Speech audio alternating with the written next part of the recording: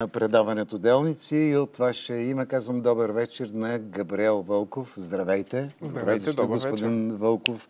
Младежкото обединение в Българската социалистическа партия.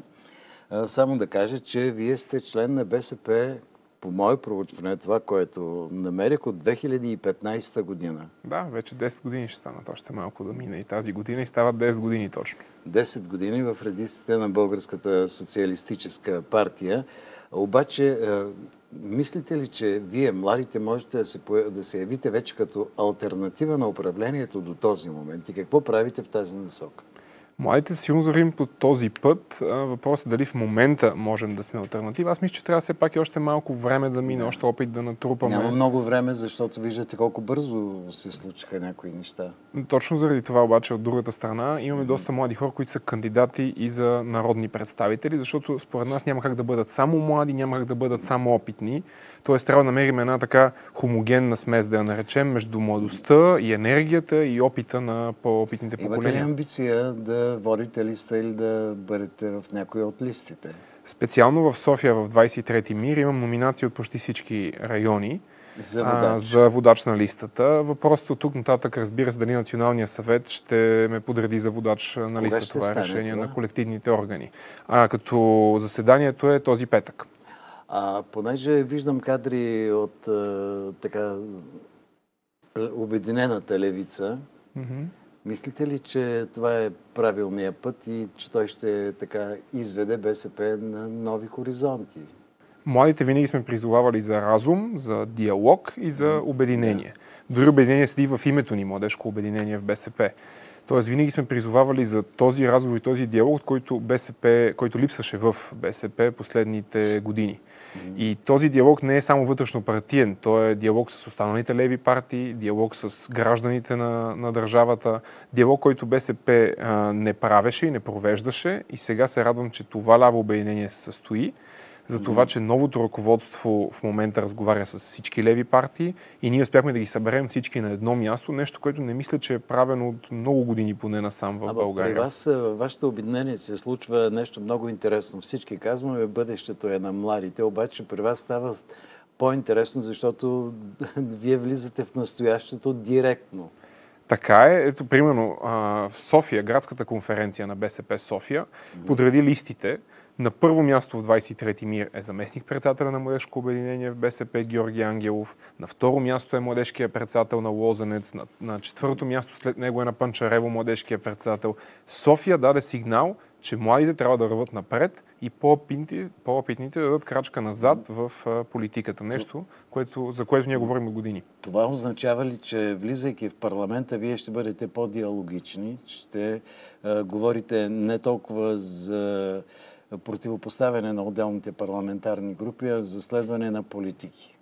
Разговорът с всички е абсолютно задължителен. Винаги трябва да сяда на маста за преговори, да се говори с всеки един, защото тези са партиите изпратени в българския парламент от българските избиратели. Дали обаче може да намерим допирни точки с всяка една от тези партии, вече е въпрос на много дискусии и на, разбира се, политики. Тоест, когато защитават политиките, които БСП предлага и Обединената левица в случая mm-hmm. предлага, тогава можем да седнем на масата за преговори с всяка една партия, да изложим нашите политики и да търсим подкрепа за тяхното реализиране. Добре, въпросът с лидерството в БСП няма ли да, така, да попречи малко, защото това е един от сериозните разговори? Аз мисля, че въпросът с лидерството вече е решен на практика. Не, съвсем. Съда излезе с решение, вече да. Корнелия Инова не е председател на БСП. Самата тя каза, че няма да участва в изборите. Тя самата каза, че няма да, да участва в изборите. Тоест аз мисля, че страницата на кризата в БСП е затворена и сега отваряме нова страница с нови лица, с нови политики и нова коалиция, за да качим резултата и дори да спечелим следващите избори. Защо не? Да, защото все пак трябва да се намери лидер, който да обедини хората около себе си, защото те сега голяма част от тях са разочаровани. Обединението да. около лидери винаги е било грешка и в исторически план, и да. в партията като цяло. БСП е била силна, когато е била партия на народа. Която е била партията на всеки един човек вътре, а не на определени лидери, лобита, групи и така нататък. И аз вярвам, че в момента БСП изглежда по този начин. В момента има един национален съвет, който взима решенията вътре в БСП, колективните органи работят по начин, по който не са работили до сега и това е важно, защото това е правилният път за бъдещето на БСП. Сега, вие е, все пак сте номиниран от много хора за водач на листата. А, нека да не си говорим толкова за партийна политика, а за това какво ще направите за хората от този регион. Защото това е един от а, красивите райони на столицата. Точно така. Това е, един, това е най-големия район, в, освен в столицата и в а, държавата, най-големия не мир. района на телевизия Евроком. Точно така. а, ние имаме три основни стъпки, сме заложили като млади хора, понеже, както казах, и листата ни е пълна с млади хора вътре. И ние сме създали един екип от хора, а, от експерти, които искаме да реализираме една програма в много кратки, ясни три стъпки.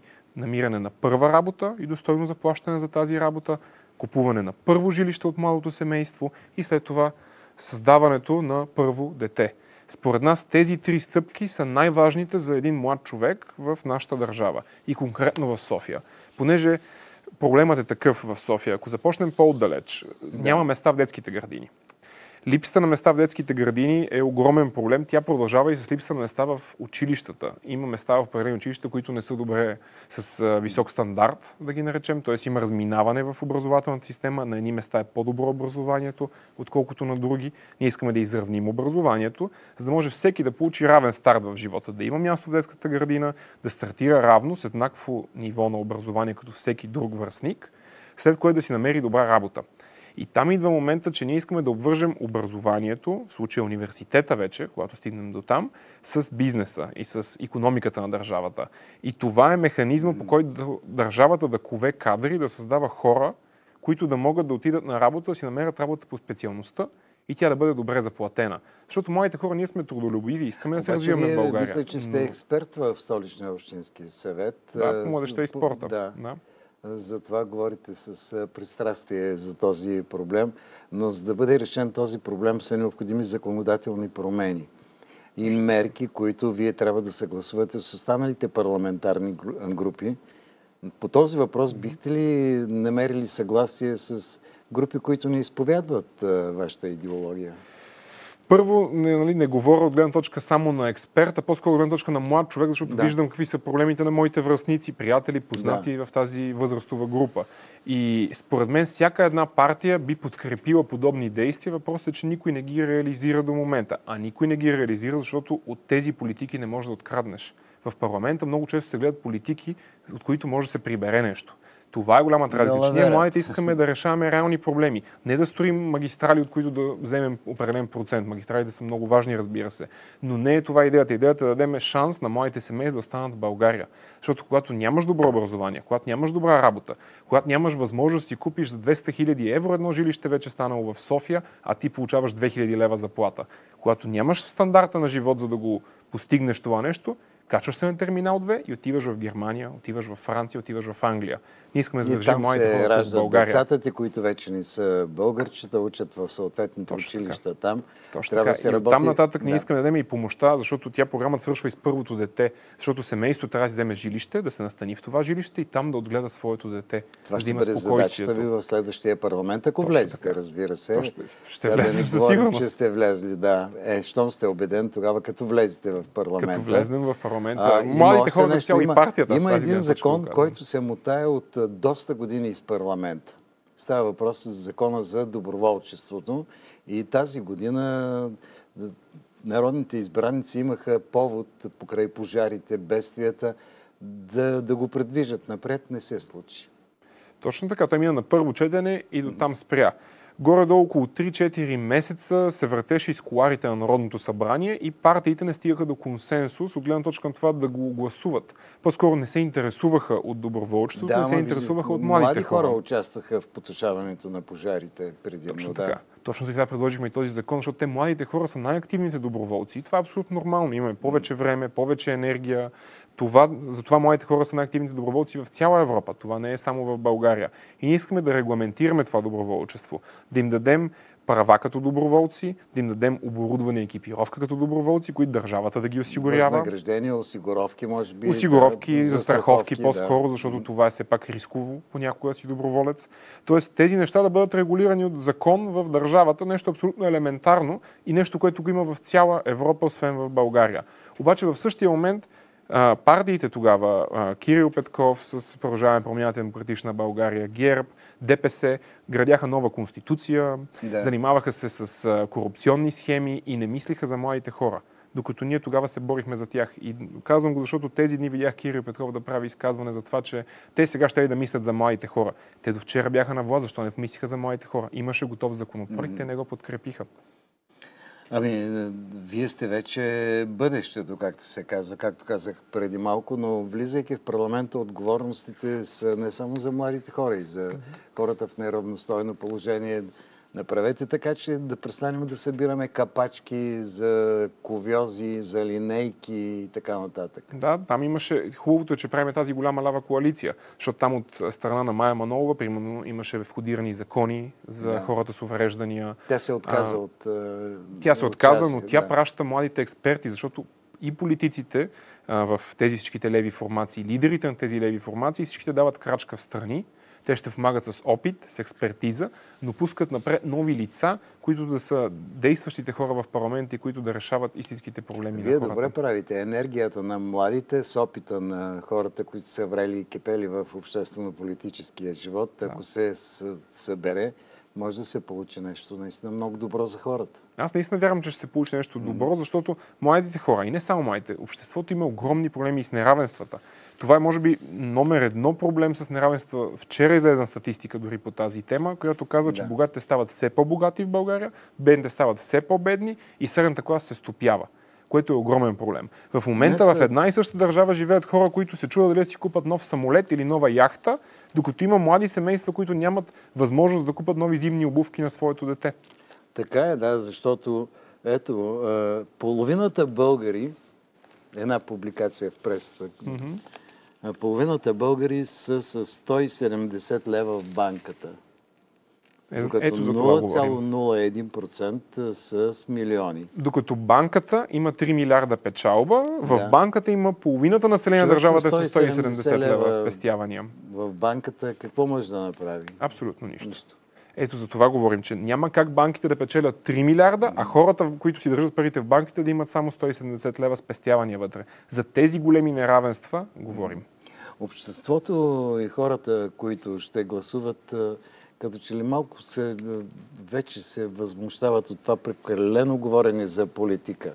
Трябва да се говори за проблемите, за решаването. Точно заради това ние не говорим някакви крайни неща и някакви да. много големи недостижими цели. Ние говорим конкретни мерки. Конкретни мерки за образование, конкретни мерки за купуване на първо жилище, с данъчни облегчения, с помощи от държавата, конкретни мерки за отглеждане на второ, на трето дете, където предлагаме 10 минимални работни заплати, т.е. в случая 9330 лева на всяко семейство с двама работещи родители, което си направи второ или трето дете. Това са реални помощи директно към хората. Помощи, от които не могат да се откраднат пари. Заради това и парламента много често не ги приема. Така е, но вие виждате и един друг проблем. Седем пъти се опитваме да направим правителство, стабилно и не се получава. Mm-hmm. Нали, имаше една песен на Васко Кеца. Седем пъти молих се на Бога, седем пъти в дявола се вричах. Точно така, седем пъти няма правителство, но това, между другото, е нещо, което политолозите, поне които гледам, и социолозите, да. които говорят по телевизията, не го споменават. Но това е огромен провал на десните партии в България. Седем пъти десните партии имат огромно мнозинство в парламента. В последния парламент има 220 депутата. Само БСП е лява партия. Да. Всичките останали са десни. И тези 220 депутата не могат да намерят общ диалог и да направят коалиция. Защо според вас?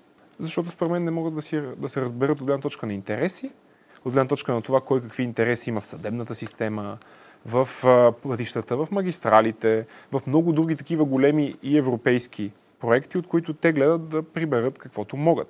И тези интереси не се припокриват. И заради това не могат да се разберат. Те мнозинството го имат. Имат депутатите, имат всичко. Имат общата идеология дори. Всичките да, са десни партии. Ето какво но каза не могат Бойко да се разберат. Борисов. Ако той няма 80, 70 или 80 депутата, няма да състави правителство.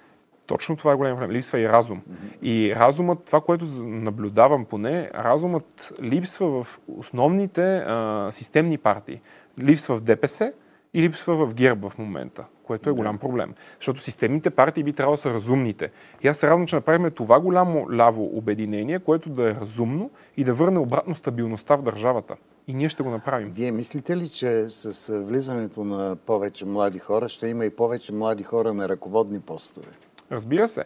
А, на първо място това, което виждам вътре в а, партията, е това, че младите хора са допускани в Националния съвет, например, в ръководството на партията. Тоест, ние а, се изкачваме по стълбата в иерархията вътре в Важното партията. е да не се движите по добре познатите, как да се изразя, стари коловози и релси. Не, точно обратно, ние влизаме вътре, за да променим партията. Защото БСП има нужда от промяна. БСП има нужда да стане една по-модерна лява партия, а това някак да стане без новите идеи, новите лица, които да направят тази промяна. И нова визия, може би. И нова визия, но тя пак идва от членовете Да, вътре така е. на партията. Тоест ние вътре трябва да се разберем как трябва да изглежда БСП и да направим необходимите промени. И трябва все пак да, да има, аз това е мое лично мнение, повече чуваемост на това, което вие говорите, повече разбиране от страна на избирателите. Не само да ви пратят парламента, но много от е, депутатите забравят кой ги е избрал. Точно така се случва. Е, И заради това ние искаме да Години работим. наред те нямат контакт с тези хора, които са гласували за тях, които са им работодатели. Но това се случва много често, защото до сега поне политиката беше такава, че един водач, примерно, членува и живее в София и го пращат да води някоя листа някъде там по страната, което е проблем. Ето аз за това, примерно, живея в София, Да. в 23-ти мир живея, имам номинации от 23-ти мир за водач на листа на 23-ти мир. Познавате района. Познавам района, там живея, т.е. всеки ден мога да бъда на терен и да се срещам с хората. А ако отида да вода листа в Силистра, на 400 км от София, колко често мога да пътувам до Ама Силистра, те, за да видя са и аз знам ходили и по проблемите на хората само, там. да. Точно това, че аз дори не знам проблемите Да. на хората там. Затова е много важно да се слушат местните организации и когато местната организация издигне един кандидат, Националният съвет да го подкрепи, защото те най-добре знаят какво имат нужда И най-важното, вие говорихте и област. за демографските проблеми, но а, все пак а, вчера имаше представител на столичния общински съвет тук а, и той ми каза една цифра, колко малко са останали общинските жилища в столицата. Забравих цифрата, извинявам се, но много малко. А, не се строят. А трябва Това да е се част строят и за младите политика. хора, да. Това е част от тази политика с първия дом, която Да. ние имаме, защото София е презастроена, в същия момент младите хора няма къде да живеят. Тоест, това е проблем, който ние сме му намерили решение. Според мен може общината спокойно да даде терен, на който да бъде застроена сграда. Държавата може да помогне с финансиране на принципа на общежитията дори, например. Да. И да даде апартаменти на млади семейства, които да ги купат на, дали на безлихвени кредити, дали с държавна, държавна помощ, дали на много по-низки цени. И по този начин държавата да осигури дом на тези семейства, където да гледат своите деца, а не да бягат в чужбина. Важно е дали вие ще имате така силата, енергията, имате да преобразите тази столетна партия. Надявам се, че имаме, поне това, което виждам по Съпротива според вас ще има ли? Не, не виждам съпротив. Аз затова дадох за пример градската конференция в София, но тя не е единствената. Имаме областния съвет в Пловдив област, да речем. Там младежкия ни председател, който е на Пловдив област, е трети в листата. Имаме Добрич, като друг пример. В Добрич да младежкия попитам ни само в София там. ли ще бъдете младите хора или навсякъде Точно за обновявате това ви казвам, да. В Добрич, примерно, младежа е втори в листата. В Разград втори и трети също са младежи. Тоест, това са челните позиции в листите. Ние имаме млади хора, които са представители на младежко обединение в БСП, които са експерти в своята област, разбират от различни неща, които са завършили, работят в тази сфера, знаят реалните проблеми на хората от своята област и се кандидатирали за народни представители да решат тези проблеми. Има един друг проблем в обществото, който е много важен. Липсва справедливост. Вие виждате за какво става въпрос. Бедните са много бедни, богатите са много богати. Множеството и това е широко множеството е... Точно така. И тя тази справедливост, освен от към доходи, тя липсва от много други места, защото На някой баща му е милионер и може да му уреди а, по-добро училище, може да даде пари в пликче за по-добра детска градина, Така докато е, да. обикновеният човек, младите семейства нямат тези възможности за да го направят това нещо. И оттам се получават неравенствата. Ами няма, нали, говорим, И оттам се строим получава детски градини. Помните какви, какви обещания имаше по време на кампанията за кмет на столицата, но като че ли не чуваме откриване на детски заведения.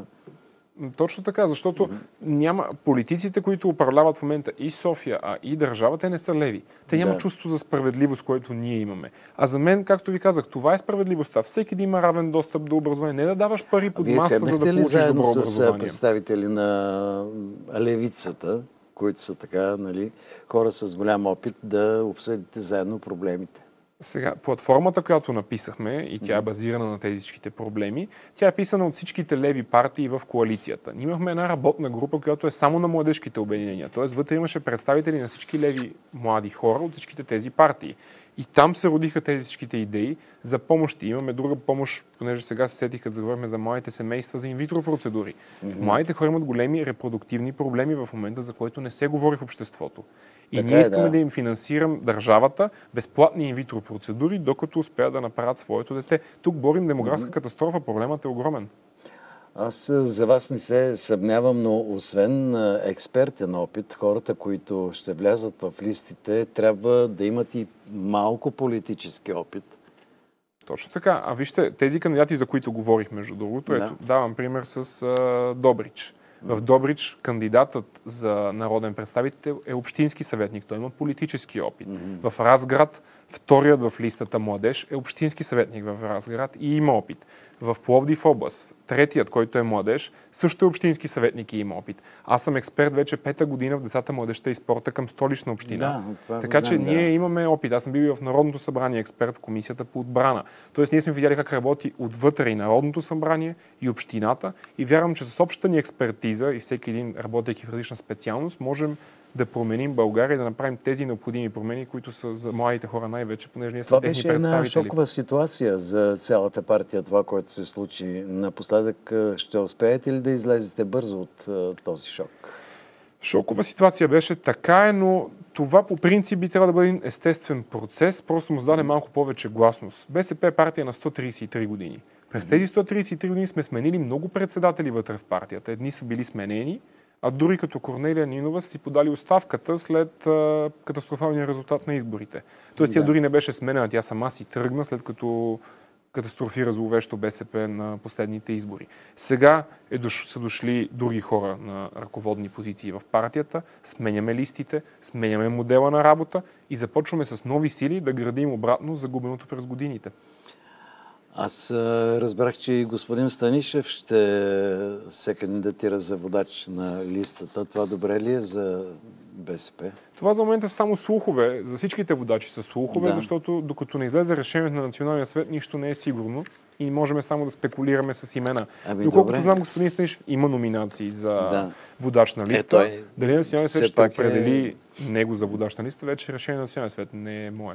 Остава, господин Велков, да чакаме до петък, когато ще е, узнаем имената на водачите и членовете на листите. Точно така. Националният съвет в петък ще подреди, ще утвърди листите, които са подредени от областните организации на БСП и ще нареди водачите в цялата страна. Аз вярвам, че ще бъдат Ще нови, има ли избор лица.